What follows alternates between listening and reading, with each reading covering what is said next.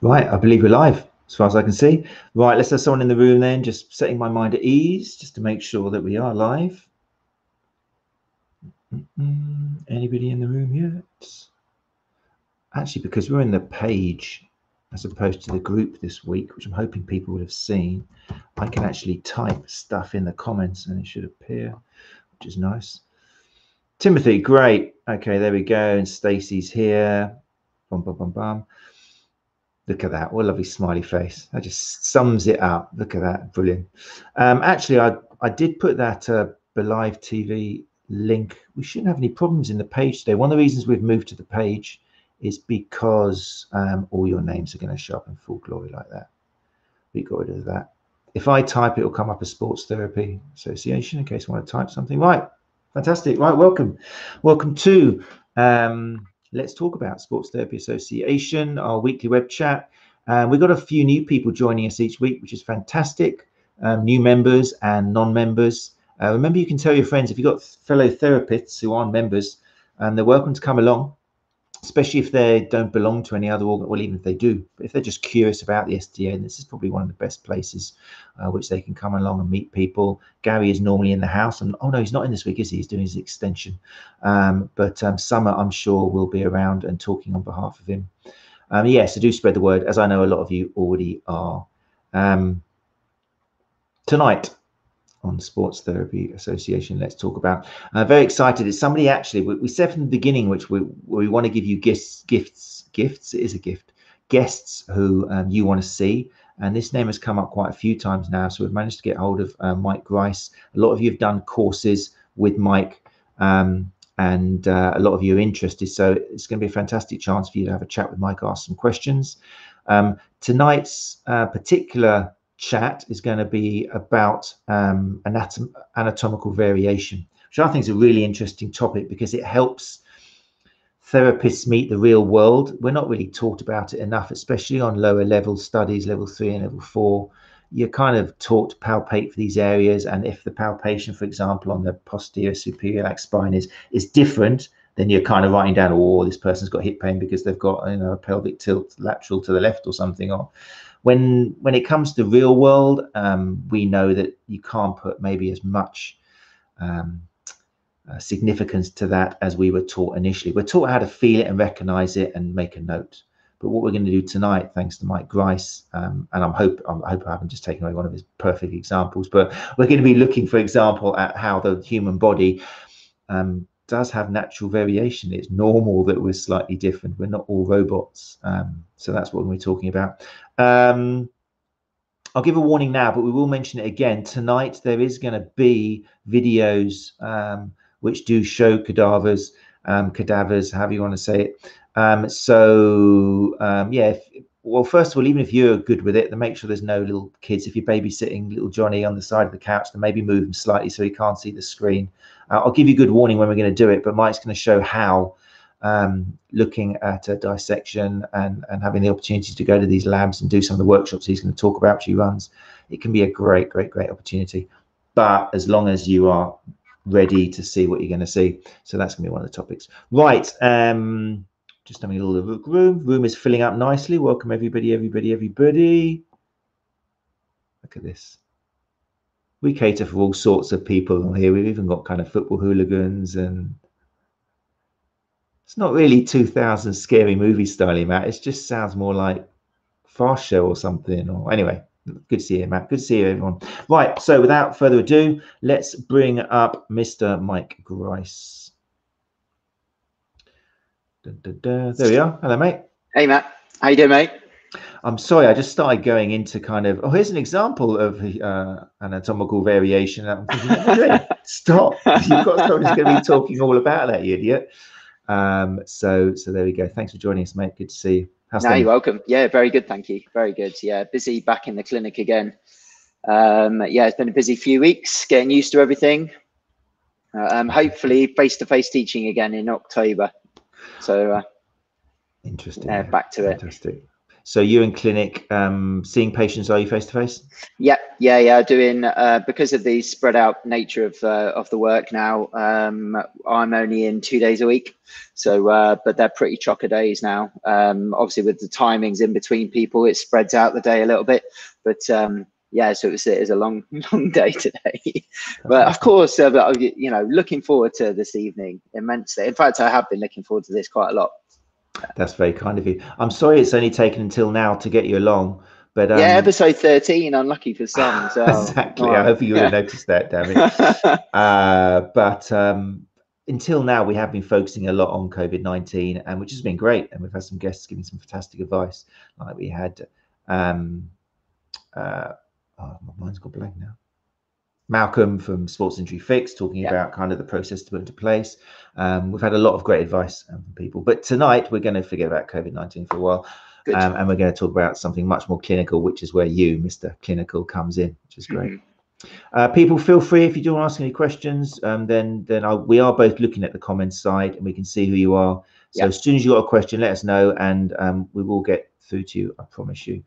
But let's start then, um, Mike.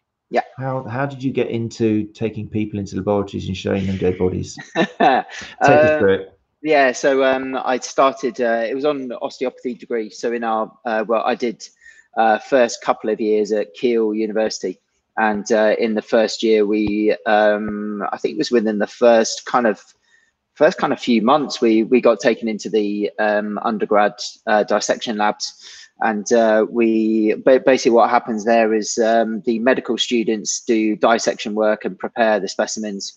And uh, then you're uh, as an undergrad left with uh, what's called a pro section so that's a um, something that's already been dissected and uh, so that you can you can have a look at um, the various um, various bits and bobs depending on what you're depending on what you're um, interested in looking in. So um, yeah that, that's where it all started really. And we went every year and the, the, osteo degree i did was five years. So we went every year for the five years. And um, at the end of that i then did a postgrad certificate in clinical anatomy at Keele. So uh, i did a further study for two years. So you've been do you think as far as you know, because you meet a lot of people in your courses who have come from different backgrounds, yeah. you were kind of thrown into it pretty early then in your degree. Do you think it's something yeah. which is missing from other courses and could be included, or do you think it's right to wait until you've got to kind of your level of studies?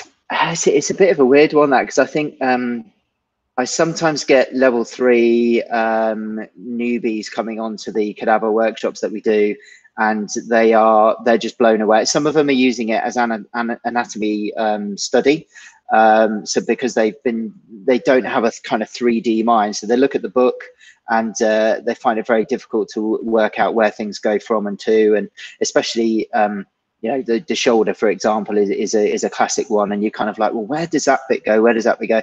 And when they can get their hands on and have a look at it, uh, they can see it in the flesh. Uh, literally, then uh, that they can understand how it moves, and uh, uh, so, sometimes really early on, but uh, sometimes people don't feel ready early on, and they and they wait until they've been practicing for a couple of years, and and then they and then they come into the lab. So I guess it's personal preference. It's um, kind of like like everything really. But uh, yeah, we, we get uh, we get all sorts, um, and and even um, on the last one, um, oh god, who did we have? We had a retired podiatrist, and she was in her 80s, uh, and she did the last workshop in in Keele that we did, uh, and she she absolutely loved it. She hadn't done any uh, anatomy study for years, but she was she was fascinated.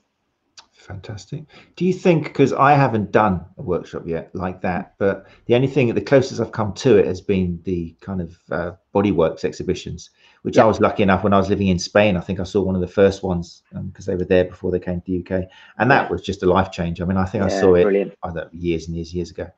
Um, do you think that is a useful thing for people who maybe aren't quite ready to go straight into workshop if they are a little bit kind of queasy not sure is that an eye-opener do you think yeah definitely yeah yeah i think uh, the way that they the way that they preserve those specimens and the way they present them is uh, is just brilliant again it's um obviously you can't get hands on with it so it is that kind of step back and and like like an exhibition but um uh, yeah, for a, for an initial start into into seeing cadaveric work or dissection work, that I think that's yeah, re- really really good. I've, I've loved it. Um, I've loved all of the exhibitions like that that I've been to. Well, I'm gonna, aren't I? Yes. you love that sort of thing. Yeah, yeah. It's a great. I mean, I've got level three and level four students, and um, yeah, I mean, it, as soon as I sh- a lot of the slides I'll start off with the when we're doing the skin, for example. Mm-hmm. I think to truly appreciate the skin, and it's I think it's well, it's the biggest organ, all the lovely things you learn about it, and we cover that quite quickly um, because it leads on nicely to it being the sensory input and everything kind of. Yeah. But yeah. remember from the show, there was the guy with the skin over his shoulder, like a coat sort of thing, and it was just such a. It showed the art and the beauty of the exhibition as well. Yeah, so once definitely. I've showed them that, um, I do cut it off just below the belly button because obviously, well, you can understand why a lot of these guys decided to offer themselves to be specimens. Um, so I took that off. But once they go onto YouTube and they start looking at all this, they've naturally got an interest. Um, yeah. Yeah. And we're, we're, lucky enough now for it to be it's permanent, isn't it? Well, I'm not sure what it is with COVID 19, but we've got the permanent place now in Piccadilly Circus, which people can go to and check it yeah, out. Yeah, it's, it's well worth it. If no, if people haven't been before, it's, it's amazing. Yeah, really good. It's a good one. Um, right. So during this now, your workshops, we'll, we'll start. We'll, you've, you've been kind enough to give us a few videos, which we are going to look at. Yeah. I will let people know. If anyone's not quite sure, then I don't know, you can always get a cushion or something. I just know that I know people who are very queasy with this. And even when I'm teaching, I warn people that we're going to have a look at rotate. There's nothing like learning it, even 2D, rather than having a picture book and like pencil Yeah, drawing. yeah. So I know people can be squeamish if they've never seen this before. So we will warn you.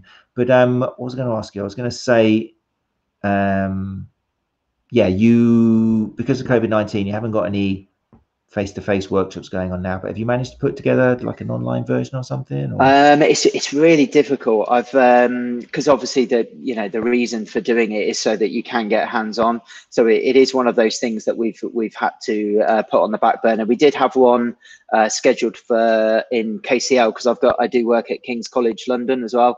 And um, uh, we usually arrange two workshops there a year, but we've uh, we've had to cancel that one as well. It was end of August that one, so we're go- we're going to. I, I, was toying with the idea of trying to do it in October, but even that, I think you know, if there's a second wave or anything, and also um, people uh, reticent to book on just in case it doesn't happen again. So uh, so I'm I'm gonna um, postpone it till April next year. So uh, hopefully in April we'll we'll be back to normal. But that that's the plan. It's a wise man. I mean, who the hell would try and organise any sort of conference or workshop in October? You'd have to be absolutely stupid, wouldn't you? As, um, as I um, was saying that, I was thinking, oh shit. oh my god, all day long. Anyway, yeah, let's not go into that. But yeah, very wise, very wise, very wise, very wise. Okay, right. Um, I think, well, no, before we go into the video, let's, um, what are some of the advantages do you think the main kind of things which people take home with them from actually going to one of these workshops? I, th- I think it is the variation in anatomy. Uh, that's uh, that's one of the big one of the big things, and then it, you can see the kind of light bulb switch going in people's head, and they're like, "Well, if that's like that, then when we do that test, that can't be right, can it?" And is that Exactly. Yeah. So it's it, it is that moment when uh, when people understand the the complete differences from one person to another, and even side to side differences as well. So um, yeah, I mean, the, the, there's a, a study uh, similar to what you mentioned in the in the intro uh, that looked at the ASIS um, sizes uh, from side to side. It was done in Manchester, and uh, there was um, there were differences from side to side on the same person. So if you yeah, if you are doing a pelvic tilt examination, um, and and thinking yes, this side is anteriorly tilted compared to this side, then it may just be a longer ASIS, and and you know you, you're kind of uh, you're diagnosing them a dysfunction when there, there isn't one there. It's just a, an anatomical variation. And and that, that that's a that's a really um, that's a really key thing. I think for me when i very first started doing it it was um, in the labs we had um, we had a five-headed quad Oh, wow. um, so uh, yeah, we had someone with quintriceps instead of quadriceps, and uh, somebody as well had a three-headed bicep, so the tricep on the front and um, it was the same tendon insertion, but the there was a distinct um, three muscle bellies in the bicep rather than two. So th- and that that's what got me hooked like that that, that was it it's um uh, and then you just want to find out more and more and more and obviously there aren't many people who donate their bodies to uh, to the lab, so you don't know how many variations are out there. We're, we're just kind of lucky to stumble across across the ones that, that come up in the in the labs at the time when we're doing the work. So um, yeah, it's uh, that, that that's a uh, that's a key moment I think for people. I think it's because I mean I'm just I talk about the ASIS and PSIS because I still cringe. I have to teach level three or no level, yeah, even level threes and the fast tracks. Yeah. And to show that they're professionals now, they have to do a little posture analysis before they start, you know, put it down. And that's what they're looking out for. And and they so we do these role plays and they're looking at it going, writing it down, and then they've got to do a pre-consultation and uh, and they've got to do it because they've got to pass the exam. That's what the external qualifier wants to see, sort of thing. Yeah. But yeah. it's um yeah, it's interesting. I think it has to be that way. And then later on, when you start working and maybe go to these workshops, you realize that do the test. I think we're not saying don't do any of the tests, but there's other factors, isn't there, which we're going to really. Yeah, I, th- I think the the test procedure, doing any of those tests, are um, they're a comfort blanket for their patient. So if, if they go to the GP, they, they don't really get examined. Um, and if we're doing a thorough examination, even if the results at the end of it aren't very useful. It's it's it's comforting to know that you're being looked after and someone's paying attention to you. So um, it is it's part of that kind of theater of a of an assessment really isn't it? So, it's um, comforting if it's done in a positive way but i know yeah true students, yeah if you're going around a bit like a selling a car and kicking tires or looking at shoulders like that and going yeah, things down they're just yeah, what, yeah. what's wrong? Oh just your shoulders. Have you seen how different they were? And you know yeah, yeah. I say a favorite question is uh, so if it, it, oh yeah, I've noticed that this shoulder's a bit higher. Well, it's not. How do you know that one's not lower? yeah, it's a good one, isn't it? Yeah, it's so true. Uh, yeah, no, yeah, no, yeah. no idea. Yeah, no idea. So yeah, um, there, there was. Uh, um, a couple of a couple of papers that I sent through to uh, to Matt um, uh, last couple of days. So uh, we'll put those in the Facebook group, I think. But there there are um, the variations of, of um, uh, the scapula, all the different variations that that there are and um, I've um, I've made a few notes because I'm a bit sad. But there are there are three groupings of acromion. So there are three different types of acromion. Uh, there's um, different types of humor, uh, humerus torsion. So you can have torsion um, of the humerus twisting one way, retroverted or anteverted. Uh, the glenoid. There are um, uh, three groups of glenoid. Um, so the actual kind of uh, face of the glenoid can be shaped in different ways. Six groupings of suprascapular notch um, where the uh, suprascapular nerve comes through. The clavicle has five different groupings, and I kind of worked it out, and there are 8,640 possible combinations of scapula. Oh my Jesus! and, Sorry, uh, wow, wow. And, that, and that's just from the ones that I, I was looking at, and uh, they're, they're bound to be um, more different things. And um, uh, so when you're looking at you know a slightly upwardly tilted um, scapula or something, you know, it's it's just it's just impossible. It's it's. I'm already getting slightly sweaty and nervous for anyone who's in this room because I always underestimate the people in here, but of people who are thinking, well, if you take away this test and that test and that test, then what the hell am I going to do? Because that's how I make a living, especially with the younger therapists. Um, have you, I mean, on your courses, you said you see some level three sometimes. How do yeah, you, yeah. How do you stop people from getting nervous and tense and thinking that you're just kind of poo pooing everything they've done and, and letting them know that they, it's not throwing everything out. You're just going yeah, to modify yeah. a little bit. How do you do it? Have you got any tricks or? I, th- I think that's the key thing. It's um, it, it's how do you change the narrative, and um, how do you uh, now now knowing what you know now, how are you going to change your message that you give to your patients? Um, because um, we know that the variations in anatomy are probably just normal. So um, we need to be telling people that. We need to be letting people know so that they have confidence to use their body again. And uh, quite often, the reason, well, we know reason for pain is multifactorial, and um, you know, it's it's not just a, a simple case of um, you know, it, this is there, so therefore that's going to cause you pain. And um, and quite often in clinic i don't i don't think i've seen many injured people i see people in pain but I don't see many injuries. I don't think, and there's that that difference between injury uh, and pain that is lost in translation somewhere. And I think the gap that fills it is the is the changes in anatomy, and uh, and that's wrong. And um, because because we know that they're normal, it's it's it, you're right. You, you just need to repackage it. I think.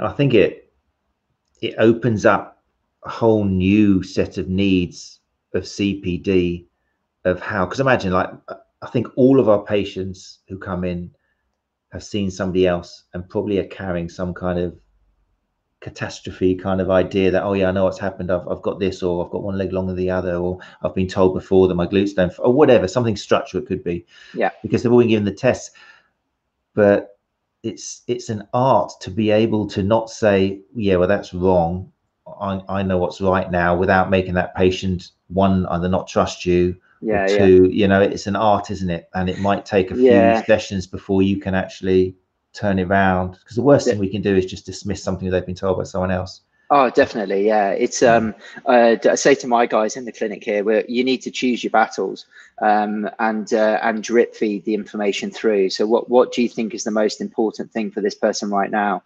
Uh, you're not going to change their whole ethos in, in 40 minutes. Uh, there, there's no way. I mean, if you think about us as learners and we're therapists and it takes us a year to learn about a pain science. So how the heck are you going to get that information across to a patient in 40 minutes? It's just not going to happen. So uh, you have to slowly drip drip feed that in. Um, and I, I've become a lot more comfortable now with. Um, uh, I used to be very. Um, I still am hands-on. I still do hands-on work. I think there's benefit to it. Um, I've slowly started to switch now into more, um, probably 70% exercise and 30% hands-on, uh, whereas I would have been probably the other way around when I started and uh, and I use those exercise sessions to to drip feed that information in um, all, all the time. And I, I have no problem with getting people back for weekly sessions of exercise and rehab. Um, well, not even rehab, um, but just fitness work really and strength training and um, and uh, and feeding them that information rather than booking them in for an, a massage every week. Yeah, Mhm. it's um, for, for me that, that that's that's my model. That that's where I, I go. i like the way you pick your words you're definitely up there with what could be the implications of me calling it rehab as opposed to let's do some exercise or something because it's it, it's i get it i get it i've been in the same place as you and it wasn't until i had like i think it was mike stewart who came along years ago and just yeah, yeah, made me look around my my clinic and go get rid of that get rid of that take that model away put that away and those posters. It's uh, mike james um, is in the house um, have been lucky enough to spend many hours at dissecting room the only way to apply the textbook knowledge and paint the picture fully. Mike there was an interesting mike had i don't know if you saw i think it was on instagram or maybe facebook. He he's putting out so much stuff mike. It was i think it was his 13th of today. And it was an image of uh, why do therapists keep saying um, your glutes are on fire or something? It's a Oh, great yeah. valid point. It was a good one. And there was a lady in there, I don't know if she's in here tonight, Amy or something, who I didn't see what she put. She deleted a comment because Mike came back and I think she thought, oh, because she said like, like Mike's post was bashing other therapists, yeah, like yeah, taking yeah. I the saw that. out Yeah. of it, you know. And I actually contacted her and I said, I just saw your post and I wanted to say, well done for speaking up. Mhm. I didn't see her original post. I mean, if she was like swearing blind and being crazy, then I shouldn't have done it. But just from the afterwards, she wrote back and said, "I'm sorry, uh, maybe I'm just a bit sensitive, but I just get worried about therapists, younger therapists, feeling like they're being told they're stupid because they come out with things." And I just said, we were all saying these things ten years ago. Some was five years ago, last Yeah. year. You know, so it's good to stand up. And if therapists do feel they're being picked on, they should say something fortunately, in the case of Mike, he was able to come back with a great reply and say, "Oh no, no, I understand what you're saying," and he Mhm. explained himself and said, "You know, I blah blah blah," and it was a great conversation. But I think anybody in the room, if you feel, because I worry if if therapists are taking the mick out of other therapists on Twitter, how are they treating their patients? They're probably using the same language, you know. Yeah, yeah, yeah, de- definitely. sometimes? Yeah, yeah. I think I think that's um, uh, what did we post? Um, so, but I got da- Daniel Williams working with me at the clinic, and um, he is a keyboard warrior. Uh, he's uh, he's worth his weight in uh, Facebook gold, and um, he uh, he I think it was about back last year, and um, we had to rein some stuff in because we were doing we were doing a lot of controversial posts about about stuff, but our intention is never ever to put anybody down. That, that's not the intention at all. It's to educate, and um, and in ten years' time, who knows what we're saying now may be different. And I'm quite happy to um, to move with wh wherever the evidence leads us. And and I think that's that, that's the message that needs to get across. Really, is um, uh, if you if you're thinking that and you're having that kind of thought about a comment like that, like you're being um, bashed, then it, it's it's probably done you good to make you think about the way you think. And um, so but you need someone to push you and uh, adam meakins did that for me years ago. And I, I, remember some of the stuff that he was saying and uh, was like you can't say that. And but then it made me research stuff because he was saying things that I'd not really heard about or read about. And um, and now I'm a much better informed therapist I, I think than I was and uh, but you i think you need you need people to to push you but you need to have broad shoulders as well so. mm. and just do lots of squats because that fixes everything yeah obviously you can't yeah, go can't go wrong i think meakins uh, I've met him, so I know what he's like as a person. Obviously, you've obviously met him as well. But mm. I think sometimes it depends. And the other thing is, you can take things wrong because you just. I, I don't like people in capital letters. I don't like swearing. Meakins yeah. always championed swearing, producing papers mm. saying swearing means you're more intelligent. I don't like it. If someone's no. swearing in a, in a message, I'm like, well, yeah, you're using this language now to use it with your clients. I mean, can't yeah. you get this point across that way? Yeah. But I know that Meakins and a few other people, you know, really, I think once I saw Bonnie Thompson, if you follow her, who's yeah, who's, yeah, she was using the c word in one of her, in you know, and I was like, ah, Bonnie, you've just shattered all my illusions of you. Yeah, but wow. it's just me. It's just me. You know, it's some people really go down that road of. So yeah, each their own. But um, yeah, it's good. Stick up for yourself if you do feel you're being bashed, but have a little think about whether you know what the reason for it was and yeah definitely anyway right before we bring up some videos which i know you got let's have a little look through the comments uh catherine reimer here hi catherine how you doing regional rep i really want to go on a cadaver call how do you say it cadaver cadaver I say, yeah, I say cadaver. You say cadaver. I don't know. cadaver for me is cadaver. I'm going to go with you. Yeah. No, no, no. You. I really want to go on a cadaver course, but I can't afford it yet. Also, not sure if the smell. Okay, oh, so yeah, smell. Yeah, yeah, smell. So formaldehyde, which is what the bodies are set in, is uh, pretty stinky stuff. Um, it's uh, it's probably the thing that makes people feel uh, uh, more queasy than anything else um, because you can't breathe through your nose for the whole session. So uh, you you uh, you're kind of breathing through your mouth all the time. So then your mouth goes dry because it's an air conditioned room, uh, and then you start to kind of hyperventilate a little bit. So uh, yeah, it, it, it, takes a bit of time to get used to. You're really uh, selling it. Yeah, yeah. yeah. There'll be a link for Mike's courses uh, yeah. coming up at the end. With that oxygen mask on the way in, um, but uh, yeah, it, it is a bit smelly, but you you do kind of get you do get used to it. There's no other smell like it on earth. It's really weird. So um, to try to, I can't describe it. It's it's like nothing else. It's it's basically like a dissection lab and, and that's it there's no there's hmm. nothing else like it but um new for the body as well anything new for the body your system's going to defend you a little bit yeah yeah yeah yeah yeah, yeah, exactly. Yeah, we, we had one uh, lady on the last course we did. Uh, she literally had just started her therapy career, so a complete change of career. Uh, booked onto this uh, cadaver workshop, and um, uh, and I could tell straight away that she she wasn't great. And uh, so she stood right at the back, and um, we did some pro section stuff, and we're talking through the skeleton, and then um, gradually, um, sort of hour by hour, because it's about eight hours the whole day. Um, she was gradually edging her towards uh, towards the cadavers, and then by the end of it, she was getting stuck in. So it's um, it, it you can uh, kind of back off for a bit, and uh, and then just gradually introduce yourself to it. Um, I never forget the, and this is showing my age now, but remember Quincy, and mm. um, and where they at the beginning of Quincy, one of the doctors um, faints in the in the cadaver room. I've never had that. I've never had anybody faint. So um, so that's so that's good. We we do keep an eye on people, you know, and um, it's very respectful. I think mm. um, when you go there, you, you're very humbled by being able, you know, that person has, has given their body to the lab um, and they're treated by the clinicians with the utmost respect. And uh, and we make sure that anybody who comes with us to to those sessions uh, realizes that. And uh, and we're also bound by the Human Tissue Act. So there are regulations in place that the uh, labs must follow.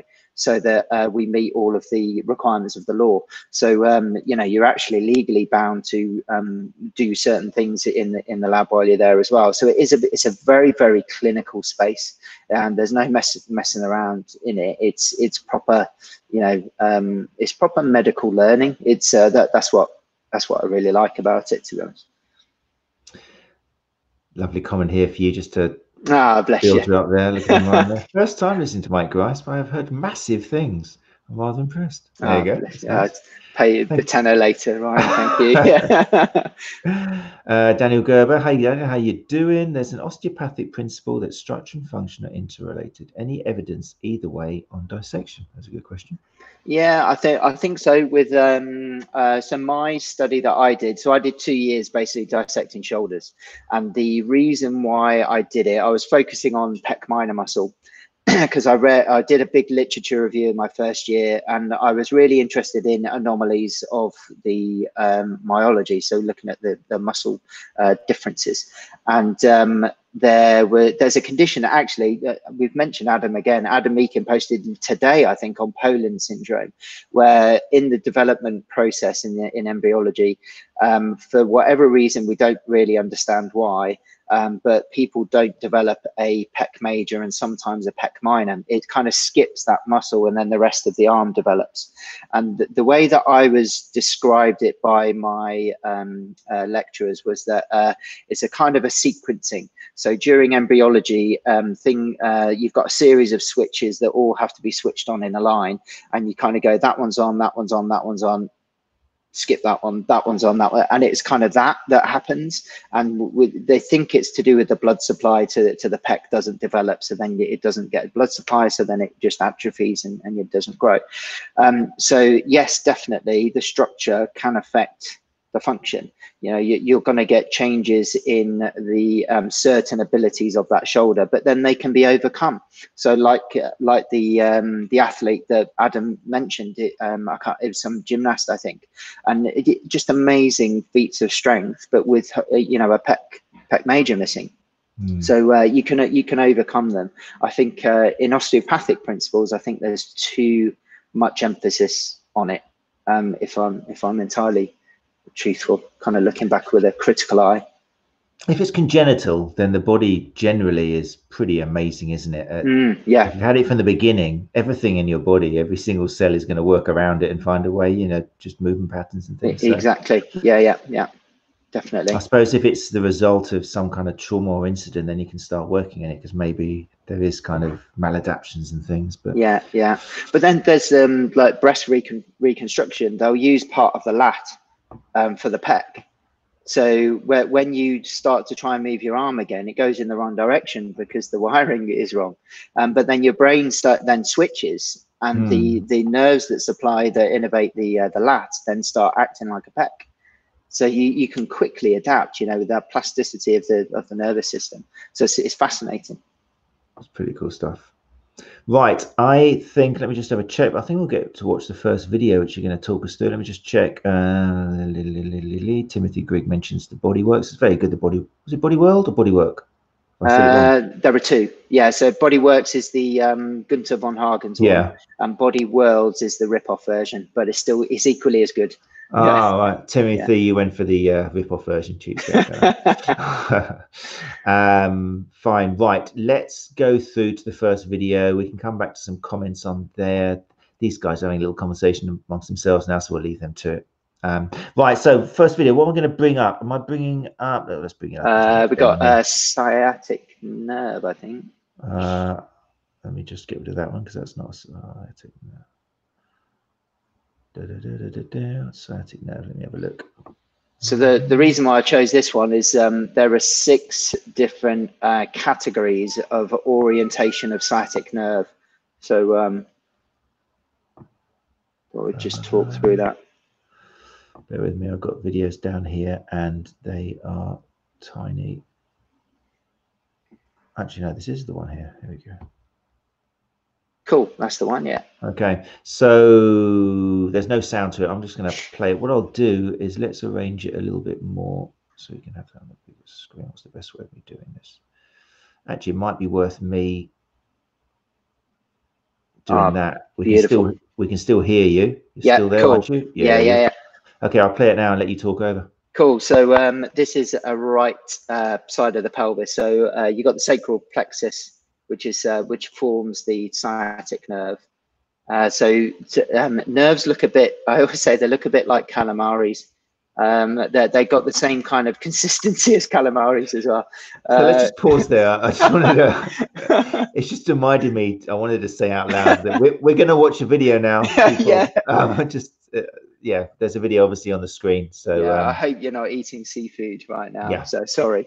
Uh, um, but but yeah, um, so where if you if you could just pause that for me, Matt. There. certainly. Yeah, perfect. So where, where the needle is now, where he's pointing to, um, that um, the the ridge around the edge of that is the greater sciatic notch. So uh, that's in the back of the well, kind of lateral posterior part of the pelvis where the sciatic nerve will go through. Um, so it goes it goes from the front of the um, spine and then travels to the back through the greater sciatic notch, uh, and then in a second it will spin around. So if you got all the uh, different nerves running off off of that, and then um, so you, you've the sciatic nerve is actually two nerves, and uh, the way we see it in the textbooks is you it's usually just one, um, but so there's a big glute me uh, glute max, and then they take the glute max away, and then you're left with glute med underneath, and if you could pause it just there, that'd be brilliant. So um, if uh, so, where he's got the um, needle at the moment, so just uh, just to the side of that is the sciatic nerve, and then you can track it up, and you see that triangular shaped muscle uh, that's there. So that's the that's the piriformis, and um, and you can see the relationship, the close relationship with the sciatic nerve and the and the piriformis there.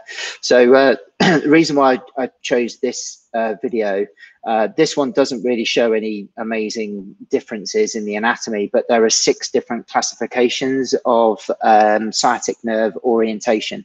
So um, the sciatic nerve is actually two nerves wrapped in a bundle. And uh, quite often, I, I see more of them as two nerves than as one like this. And um, they, um, they, they, can, they can split. And so in the textbooks, it splits just um, just above the knee, the knee crease, so that um, popliteal fossa. Um, but um, quite often I've seen it split really high. So you'll have two two sciatic nerves, if you like, but well, it's a tibial and a peroneal nerve running down the back of the hamstring, and, there, and then it goes whichever direction it, it, it needs to um, by the knee. Um, but it splits a lot higher up usually that, that I've seen anyway. Um, I think it's more likely to split higher in my experience than it is in like in the uh, Gray's Anatomy where, where it splits just above the knee. Um, and then does it have an implication in um, uh, flexibility of the hip? So it, going into extreme ranges of flexion? I have no idea. I don't, I don't think I don't think there's been ever been any studies on that correlating the kind of categories of, of a sciatic nerve and then and then how that might affect a nerve tension test or, or whatever. I I've no idea. Um, but uh, if anybody wants to look, I've uh, written it down. So it's called the Beaton and Anson classification. And uh, so if you Google Beaton, B E A T O N, and Anson, A N S O N classification, then uh, you can see the six uh, variations of the of the sciatic nerve. Um, and when you go to the uh, cadaver labs, um, it, it's funny because on some specimens they uh, they actually color because people are so used to seeing nerves as yellow, they color them in yellow. So you can see, and they, um, so you can see where they are, but they're not actually yellow. They're quite translucent, like, uh, like you saw on the on the specimen there. Um, You you pre-answered or preempted my question about like the implications of these, and I'll probably I'll ask you the same thing after each video. But so from what you've mentioned from the different variations, does it kind of nullify or weaken any of the tests or treatments or things we're used to doing, or does it raise questions which we don't wouldn't normally ask? I, I think it beautifully explains why the the tests and the treatments are poorly correlated in research, Mm. and it's because everybody's different. So if you do a particular test or a particular treatment on someone, and they don't respond, it may be because they're a non-responder, um, or it might be that they've got an anatomical variation that doesn't suit, and you haven't done what suited them. So you just haven't found the thing that's worked for them. Um, who knows? You know, unless you unless you have a look at underneath, you you wouldn't know. Um, but it could be one of the one of the main reasons why we see these differences in in the examination results and in the treatment results. Fascinating, great stuff. Um, just checking if there's any questions to do with sciatic nerve before we go on to the next video. We're gonna we've got five, so we're gonna go through them. But you're welcome if there's any particular questions or if there's anything you want to share in the room. Um, Anna, hey Anna Maria, how are you? She was obviously insulted by the use of her. yeah, that was Mike's choice of words. Yeah, sorry. Um, what was this here? Would you recommend any good neural CBD for sports massage? Um, slightly off track. Well, if anyone knows any, then feel free to put that in the comments. Um, but I think that was part of another conversation that's going on. Yeah. Let's choose. Um, right, what video do you want next, mate? This is great. Um, so let's go for um, let's go Pec Minor. Um, so that this is um, this is where I, I did my dissections on. So um, talk you through this area. So, but my uh, my work was on um, the uh, it was on the attachment point on the coracoid because I'd read in the literature that uh, sometime and because there's a test, um, the Pec Minor test, which is in Kendall Kendall McCreary, where you um, where you have a look behind the shoulders with someone lying uh, supine, and you see whether one shoulder is higher than the other. Um, we know that there are problems with that because of acromion sizes and all and all that kind of stuff and rib cage shapes. Um, but uh, but also the attachment point of the pec minor. Uh, on some people, it doesn't attach on the coracoid; it goes straight into the joint capsule. So uh, so that that was the kind of thing that I was um, I was looking for. Just check if I get it off. Hold on, that hasn't come up at all. Where is it? Um, it's a nice uh, comment by there, Sarah Jones. I couldn't eat pulled pork for a really long time after my course. yeah, do, do, you know what? Whenever you go to the cadaver labs, it um, it makes you really hungry, and it, all everybody does is relate um, things to uh, to food. So it's um, yeah, it's not surprising that we're getting there. Those comments coming through. Hold on, sorry, I've lost my videos. It's oh, here it is. Right.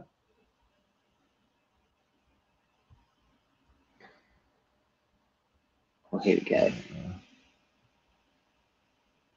Okay, do you want to put it on full screen? Yeah, cool. Yeah. You just say pause when you want to pause it again. Yeah, thanks, mate.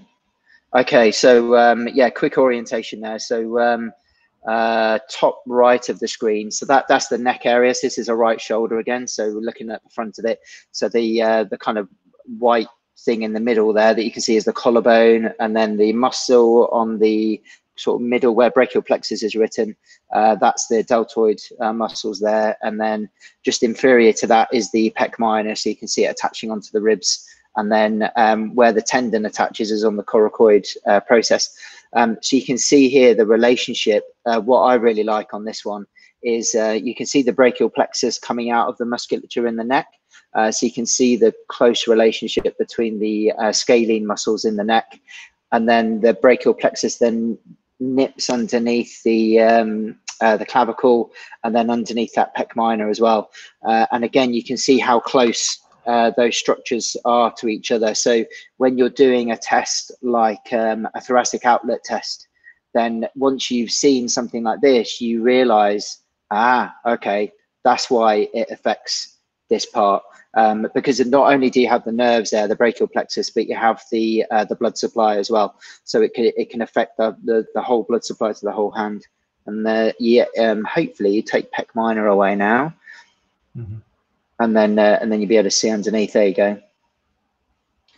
So it's like a, a roof on the uh, brachial plexus there with the um, pec minor. Um, yeah, the, the variations of that was one that I mentioned before. So the the pec minor not going onto the coracoid, but actually going straight into the joint capsule. So um, that would affect that Kendall Kendall McCreary uh, test where you're uh, lying supine and, and, measuring the, the height of the shoulders to see whether one shoulder is protracted or not. Because if it's not attached to the coracoid, it can't be the pec minor that's causing that um, protraction. It may be a, the orientation of the rib cage, or you know, there's lo again loads of different variations uh, and a reason why that person may, in that position, present with one shoulder higher than the other. Uh, and is it a problem who, who knows? It, it could be, it might not be. Um, Very interesting. Yeah, fantastic video. Good example that. And um, yeah, I'm hoping people in the room. Is there anyone in the room who hasn't? I'm interested in people in the room who haven't seen images like this before, or is everyone in the room kind of already looking up themselves on YouTube and stuff? Because you can obviously find various quality videos on YouTube. But I'm wondering if there's anyone in the room who is kind of new to seeing these or would like to see your reaction. Um, all these comments about meat and becoming vegetarian. Anyway, we'll move on from there. Um, okay, great. Let's go to number three, uh, which is going to be which one would you like up? Uh, let's go. Uh, let's go ITB. Yeah, that's a good one. ITB.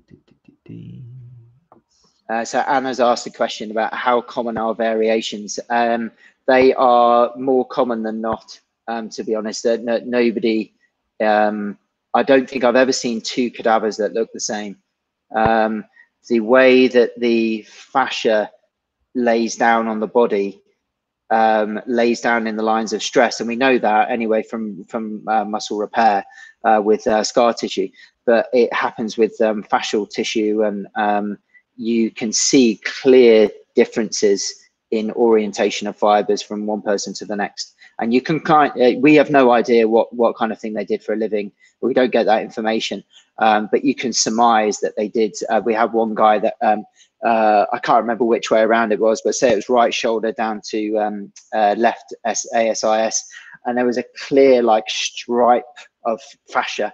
Um, so he must have done some kind of repetitive rotation work throughout his life. M must have done. Uh, it, it, um, there, there, was, um, you know, just clear changes. Oh, another one I saw as well, actually. Uh, this was in London, and we saw a glute max at the level of L3. Okay. So uh, the glute, and this was with uh, Julian uh, Baker. Um, so uh, went on one of his workshops and um, we uh, had a look at the glute of this one cadaver and uh, yeah, tracked it all the way up and the muscle fibers from the glute were going all the way up into L3. So that they had, um, yeah, they had a very high glute line. And this was on a cadaver, so there was no history of symptoms or anything, or no idea. Yeah, I mean, yeah. you really want to know? That would be my first question. Who I know. Yeah, you yeah. have some notes. Where are the notes of these people? oh, interesting, fascinating. But yeah, God, you instant reaction inside. I'm thinking, well, that person must have like had symptoms of some form, but maybe they didn't if they were born like that. Exactly. Yeah. No yeah. one ever knew. No one knows. Yeah, yeah. How fascinating. So that this one's a really cool one because this is um this kind of. Oh, sorry. Before you do, one oh, question. Yeah uh, just got something which was interesting, as always, from Matt. Where was it? Let's have a go. That's Anna's calamari. Oh, yeah, here we go. This is a question which crossed my mind as well. Obviously, these are pretty cleaned up for the videos. What does the brachial plexus actually sit within rather than empty hmm. space? Good yeah, question, good Matt. question. Fat. Usually fat tissue.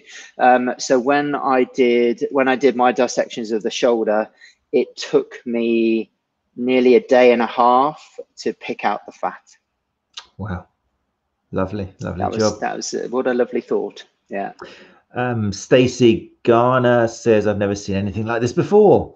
Um, which, so continue, Stacy. How are you feeling? Let us know. I'm just interested. Um, I think it'd be useful research for, for Mike as well, just to know what instant reactions is. So yeah, keep sharing, Stacy. Write something else. How are you feeling at the moment? Are you still there, Stacy? You still there? I'm sure you.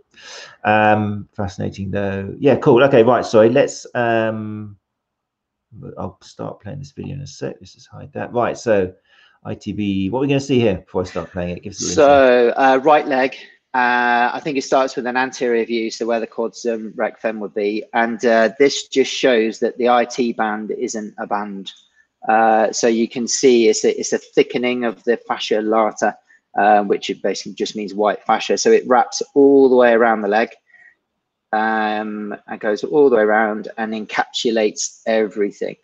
Uh, so uh, when you see the books, all of that fascia has been cut away, and the iliotibial tract, which they'll show you in a second, is just where the person who's dissected it has cut. Right? And uh, they will cut along the lines where they think there's most um, fascia. So there you go. So there's the IT band. But when you see it in its entirety, um, you can see it's not a band. It's just a thickening of the whole fascia that surrounds the whole the whole leg. Um, you don't usually see that in the in the cadaver labs because uh, usually they've been dissected back, so you don't see that whole covering. Um, so that that's um, another kind of myth buster on that one. Very interesting, and a far more attached than we would imagine down the length. So the idea of moving it or changing its length or something is a little bit yeah well, yeah it? yeah definitely well um i'll tell you you know what i was saying about um uh, doing that work for a, a, couple of days, the the amount of scalpel blades you go through. I know this is horrible to talk about, but um, you go through. Um, I, I, think I must have gone through about three or four scalpel blades in a couple of days um, because you, the work, the tissue is so tough. It blunts the scalpels after some time, and you and you can't get the the cut that you need. Um, and um, yeah, I don't think people people really understand that. The fascia is so so tough. Even like a bit of cross friction will have any effect on it. Nothing. Surely, it's been it's been shown. Especially as the client's not going to be writhing in pain, this is a great chance yeah, to actually absolutely. test out your the yeah. strength of your fingers. um, right, no, very interesting. Yeah, very interesting. I just want to check if um, Stacey has come back with how she's feeling about it. Here she goes. No, she's not. It's Sarah. I think Stacey has uh, gone out screaming. Okay, so there we go. Stacey's left the room. Oh dear, sorry, Stacey. Um, yeah, no, I'd be really interested in seeing. There's so much. I was listening to a um, a web chat last night all about the ITB from someone who's done it in their PhD and and uh, yeah, just using again the research um, to bust a few of the myths and misconceptions and um, yeah, very interesting. Right, where are we? 8.54. This is good timing. Next, mate. Cool. Uh, let's go. Um, let's go radial head next.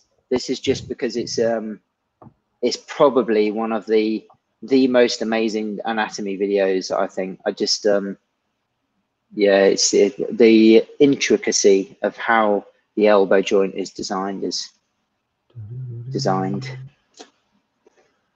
Fascinating. Okay. Oh.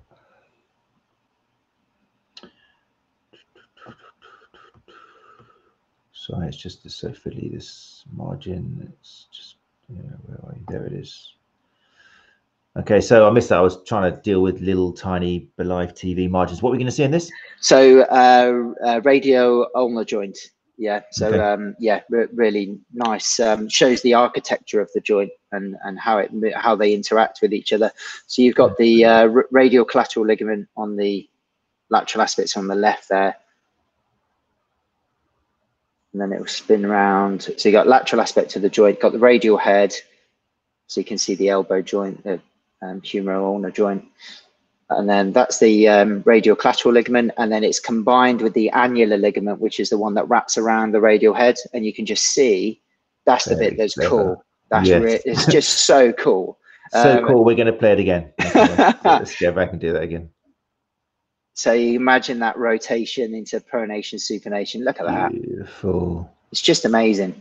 And um, they take away the humerus in a sec and just leave the um, just leave the annular ligament. And uh, talking about food again, it looks um, looks like a hula hoop. This one. So um, sorry.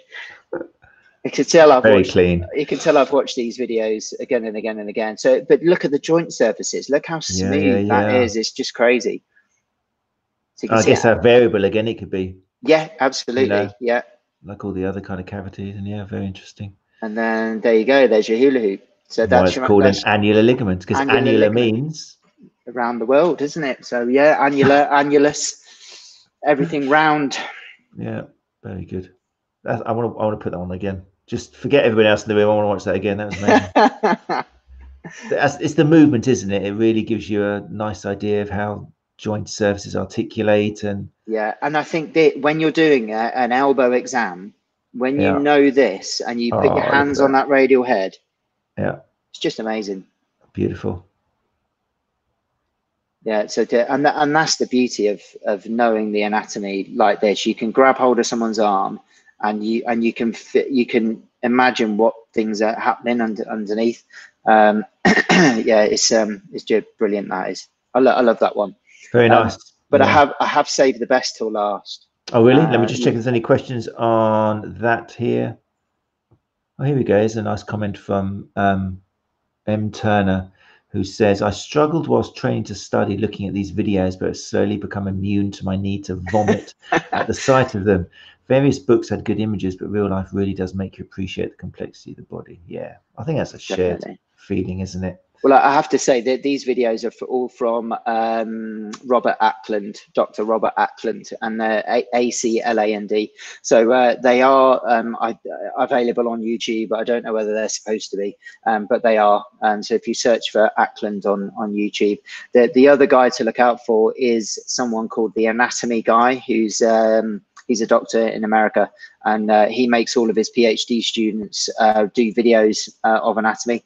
So, and they do some medical procedures as well. So the anatomy guy is really good as well. Cool stuff. Okay, we'll make sure these are put in the links and stuff in the comments so people can jump to them. Um, I'm not going to start off a conversation on that. Someone used the release word. Can you imagine it? Let's not use that. Uh, the Catherine going on about here. I don't know what that's all about. So let's rid of that. No, that's their own little conversation going. That's fine. Okay, Yeah. so yeah, you say you've saved the best till last, have you? Yeah, spinal Um, cord.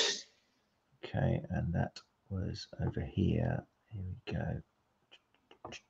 I told you I was looking forward to this. I could, I could literally do this all the way Ah, through tonight. at that. No, it's fascinating. Really is fascinating. I mean, I'm sold. I'm sold. It's really, uh, and I've struggled with sensitivity and this sort of stuff. I mean, I'm a begrudgingly non-vegetarian now. I wish I was a vegetarian. I, um, because I just don't like meat or cutting and stuff, and and, and also a bit of animal love. But um, and I've always been squeamish. I, I always was one of the people who said yes, I will go out during the bullseye dissection and stuff like that, and the frogs. So even though I studied biology and applied biology, I just wasn't interested in seeing animals cut up. It was just Yeah, yeah. but so it did take me a while to get used to these kind of videos myself. Um, but once you get over that, Body Works really worked for me. It was great um, Yeah. because it introduced me nicely to it. And once you got over it, and, and it's the art, isn't it? The Yeah, human definitely. body is this is probably the most beautiful Yeah. work of art we can appreciate because it's our own bodies. So once you can get past just the flesh and stuff, then it's yeah, it's a beautiful thing. Right, um, what we're going to see on this before I click play. Spinal cord. So um, we got uh, the spinal cord from the um, foramen magnum, which is the uh, hole in the base of your skull. Um, spinal cord all the way down into the cauda equina, and then it also shows when the uh, meninges are opened up, and you, you can actually see see the cord inside. So it's the kind of uh, the reveal of the spinal cord, if you like. So It's a, it's a good good one. This one. So look.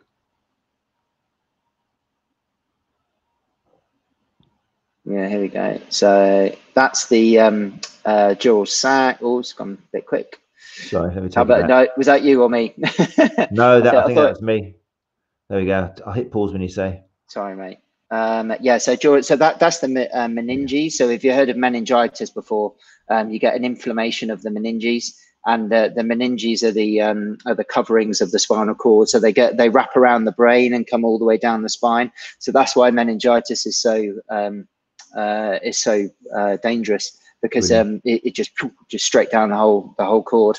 What a great Um, visual. I mean, seeing that, I've read about meningitis and I'd like to think I know what the thing is, but I've never seen an image like that before of the meninges. And that just, yeah, it's better than all the words you could put together. That's amazing. Yeah, And, sorry, uh, keep going. That's that's all right. Yeah, and then uh, yeah, if you hit play again, it should. There you go. Yeah, so um, tracks it down. The video does jump. Yeah, so it might be my video actually. Apologies.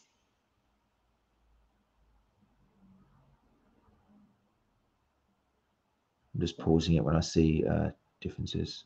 Here we go. So there's the cauda equina. So the cauda equina, there's, the spinal cord actually stops at the level of L1, L2. Uh, so it's called the conus. And then uh, and then it turns into the cauda equina then after that. So it's filled up of um, nerve filaments that make up then the uh, the plexus um, that form the uh, lower extremity uh, nerves. So that's your uh, that's in the sacral area, I think that one. Mm-hmm.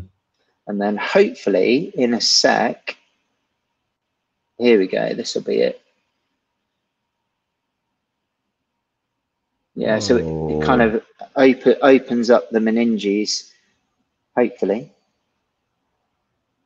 Yeah, here we go. Amazing. I'm just pausing this so I can take it all in. There you go. And there's your spinal cord. So the thing oh that thing that controls or sends messages um, to uh, and receives messages from every part of your body, and there it is. It's it's just mad, you know, um, seeing that and the kind of role it has um, with it with our everyday life, and and that, and that's it. You know, it's it, it's just amazing. Absolutely great. Let's play that through to the end. Amazing video. Yeah, definitely put the link through to these. Absolutely amazing video. Cool. I think Oh, that's it. it's Yeah. quite emotional. That's that's that's quite emotional. Um, amazing. There's an interesting reference here. I was going to avoid mentioning because it's kind of quite a classic error. I think the famous kind of fuzz video, which we were introduced to as a way of selling myofascial release. With, Yeah, it was a great. He was so ahead of his time, wasn't he? he was. Yeah, Um, yeah, yeah. had his famous fuzz video, and then, well, basically, it was kind of like, yes, but for this to happen, you have to be dead. It was kind of a little bit, which he came back with. But he, again, I used to kind of poo-poo a bit when I was younger and doing workshops, like, oh, look at this example. But Yeah, yeah. he was saying that before anybody else was even talking about it, and then Yeah, he came back with a follow-up video. Yeah, well, I think that's the good thing with a scientist, though. So Mm, G- Gil realized after that time that his first thoughts weren't right, so he Mhm. he changed them, and that's exactly what you should do. And Yeah. yeah, and uh, you you know you've got to be you've got to have balls to do that, especially after you've been you know selling videos talking about the fuzz, and then and then Mhm. completely changing what your your message is. Um, I yeah, respect to him for that. all of the great thinkers have said things ahead of the time when no one else was talking about it. You look at the whole studies um, on the core stability and the multifidus and the timing and all of that. That was said, and then they came back and said, "Oh, it's interesting. Actually, we've changed it a little bit, but it was too late." By then, Yeah, you'd yeah. spawned a whole breadth of DVDs Yeah, yeah. and core stabilization exercises. So Paul they check. all have, yeah, exactly the same sort of things Yeah, Yeah, yeah, yeah. yeah, but it doesn't take away and that's the way it should be if you are um um so intelligent and, and doing such great research that you release these new things you don't know whether it's going to be 100% right you then evolve and that's something i think as therapists we can take away it's great to have to correct yourself if you're Yeah. teaching the same thing as you you know with, or you're treating the same way as you did five ten years ago then you're probably missing out on something because it's natural that things should change. And I think as well, I think some therapists fear saying to a patient, you know what, you know, I did this kind of last time you came in two months ago. I've changed it a little bit since then because I think that's patients love hearing that. They want to Yeah. hear that you've actually evolved and you're reading and looking stuff up. Definitely. Um, it's like opening a book up in clinic. I'll still sometimes, if I'm interested or if I'm feeling something or I'm seeing something, I'll go and look at a little atlas or something or open up a book and they they love it. They're like, Yeah. oh wow, that's amazing, you know, rather than making it up. So, right, well, this is um, there were some great videos, Mike, absolutely brilliant. Cool. Um, let's uh, take that down for a sec.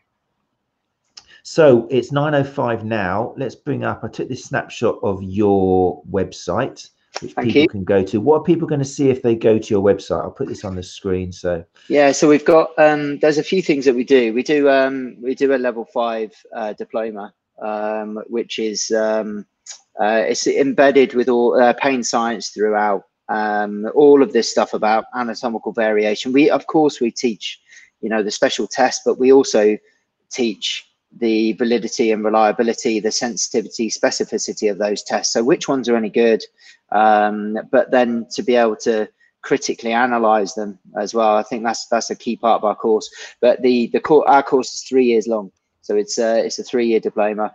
Um, and the idea was to give you because I used to teach on degree level programs, so I wanted to give people degree level content um, in a in a manageable way. So um, people that couldn't go to university for whatever reason um, or didn't want to, they don't really, they're not wanting to saddle themselves with 27k worth of debt, um, and uh, and and different way of of learning that kind of level of information because. Um, I think with with levels, um, Gary and I have talked about this for a number of years. The um, it was kind of level three was effleurage, petrissage, and then level four you learned METs, and then level five you did electrotherapy, and and it was all technique based for the levels and and it shouldn't be like that it should be um, the uh, understanding and your justification is is where you get the higher levels. And, and that's what we try to uh, try to do on our on our course. Um, and then the middle button is the anatomy lab stuff. So obviously we're, we're not we don't have any dates at the moment but if anybody's interested then just let me know.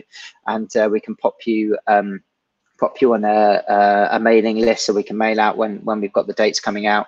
And um, uh, I work with Rocktape as well, so I know I've met, I recognise some of your um, some of your names from the Rocktape courses, but I work with the Rocktape guys, and uh, we do um, elements of the diploma as CPD as well. So I think someone mentioned about neurological testing. We do a neuro testing day uh, as part of the phase three in our diploma course, um, and we we teach you. Uh, again, what you what you would get on the degree programs are myotomes, dermatomes, but cranial nerve testing as well.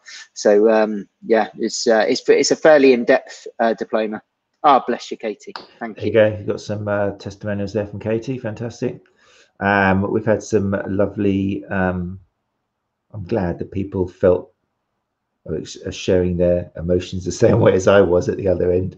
Yeah. Beautiful, amazing work. And they're just five examples. So um, I imagine the look at this. Sophie has expressed it with a wow, wow, wow, wow, wow, wow, wow. Yeah. Um, and then Louise Archer is Louise Aker. Stop saying Archer. I always call Louise Aker Louise Archer because my son's called Archer.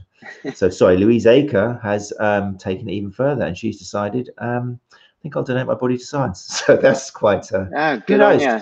Yeah, good on you. Yeah, that's, that's the, no, it's brilliant. And and they um, what they do with that, just very quickly because I know we're over time, but um, we're um, uh, they they do things on postcode. So if uh, you look for the local university that has cadaver labs, and then you fill in a form, and um, and then on your passing, then you'll be you'll be collected and donated to that lab. So uh, yeah, they do it in in postcode regions. Brilliant. Okay. Right. Well, time has made that was, it was amazing. Really, really. I thought tonight was going to be great, but it's even exceeded my expectations. Um, I feel, yeah, it's amazing. Great selection of videos to watch, and I'm sure I'm sticking my name down for sure. But yeah, so people can hit that middle button. They'll go onto a mailing list for the next time one comes up. Um, anything else? Have you got your chance to do anything you're doing in the near future? I'm doing a couple of online courses until we're back face to face again, but with the with the Rocktape guys. So um, just doing some uh, instrument assisted and rehab work. So uh, uh, with a neurocentric approach. So um, yeah, doing all the kind of pain science stuff with, uh, but getting people moving rather than just uh, on a couch. So uh, um, yeah, I think that's coming up in September, September 12th, I think. But uh, yeah, online one. We've got a private Facebook group, and you um, put your videos of you doing doing the techniques into the into the group, so we can assess it. So we do, do it that way. We had Coco in the other day, who I think left people with jaws down and quite flabbergasted at the sheer amount of amazing things. So, oh, I mean, ace. Yeah, it was brilliant um, who's obviously not with Rocktape anymore, but I think in his time there, he had some great effects on the company. That's oh, the definitely. I stayed with Rocktape from the beginning. It was lovely to know that he was there in the yeah. UK, sowing his seeds, as it were. So that was great. All right, mate. That's so kind of you to give up your time. It's been really exciting. Um, no worries. I think it's probably been the biggest teaser of Give Me More that we've probably had. So episode 13 was not an unfortunate one. It was absolutely the opposite. So good thank you so much. If people want to contact you, it's via the website. The best way, is it? Uh, yeah, via the website. Yeah, as uh, Katie, uh, who commented earlier, knows, if you message me, then uh, it takes ages for me to respond. I tell you, I've I've just been so ridiculously busy. We're getting everything ready with all COVID stuff. So apologies, Katie, on air. Okay, there you go. Uh, but yeah, email me. It's mike at mtclinics.com if anybody wants to get in touch. Yeah. Brilliant. Okay, mate. Right, I'm going to chuck you down to the lobby whilst to just say goodbye to people, and then I'll come and say thank you again myself. Okay. Cool. So, thank you very much again, Mike Grice. Thank you. Wow, wasn't that great? Um, that was fantastic. Um, I um, I'm really am clicking that button. I can't wait to go and do one. That's amazing. And also hopefully having Mike, just the way he explains it and everything. Well, you know, I think everyone in here knows that Mike's a bit of a legend. Um, if you don't know Mike and it's the first time that you've well, there was somebody, wasn't there? Um, then um, well, you've got testimonies in here from everybody. Great educator, really up to date from the information he was saying, embracing human uh, natural variation um, and embracing asymmetry and and embracing the fact that we shouldn't be laughing at each other or laughing at things and new therapists because it's natural to evolve. We've all done it. You know, we've all changed. Hopefully, we should have done. And like I say, if you haven't, then there's always time to change it bit by bit. Right. So before I do let you go, I just want to, for those of you who've been emailing me, I know a few of you have about um, the Run Chat Live conference. Um, I put out a post today. Um, basically, I've got to make some decisions. I've got to man up and um, or person up, I should say, and um, I've got to decide whether it's going to be physical and live stream or whether it's going to be 100% live stream. So what I've done is I've decided that August the 31st is the deadline um, basically, if I've got enough people to warrant hiring the hall and getting the catering and getting the staff and paying the college and everything to put on the physical version in Brighton, UK, like last year, if there's enough people signed up for the physical tickets, then yeah, we'll do it. I want it to be physical. I want to see people. I want to get the speakers together.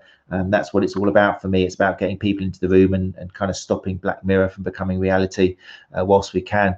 Obviously, if not enough people want to, and it's understandable in these weird COVID times if not enough people want to come to the event um, or they're worried um, that, I mean, I've already said if you do get a physical ticket and it can't happen, it will be converted straight away to a fantastic virtual Zoom one, which we're organizing as we speak. Um, I've made the prices for the physical tickets now the same as the virtual, just because that makes people feel a bit more settled. So basically, if you do fancy the idea of going down to Brighton and meeting up and seeing the speakers, um, remember, the British speakers are still all happy to go down there. So you'll have the likes of Tom Goom, um, Ben Cormack, uh, Trevor Prior, uh, Mike James will be down there again. Um, we've got some fantastic UK speakers who are going to be there. Um, we'll have a virtual connection to Matt Fitzgerald. Um, so he'll be talking from um, California. Alice Sanvito is going to be talking from St. Louis, Missouri about massage and the misconceptions and things. And also Kevin Max, the running form, will be talking from United States as well. Um, so yeah, August the 31st, I'm simply going to look at the Eventbrite page, count up the number of physical tickets and go, it's not enough. If it's not enough, it will become 100% virtual and all physical tickets will be converted across.